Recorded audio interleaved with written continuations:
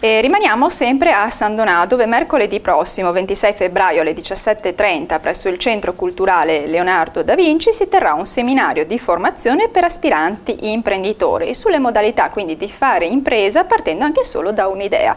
Il seminario è organizzato da Confapi in collaborazione con la conferenza dei sindaci del Veneto orientale e il Ministero dello Sviluppo Economico.